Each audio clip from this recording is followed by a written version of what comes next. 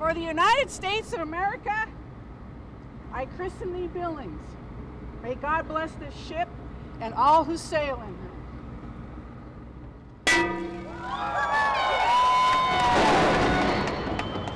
Watch this.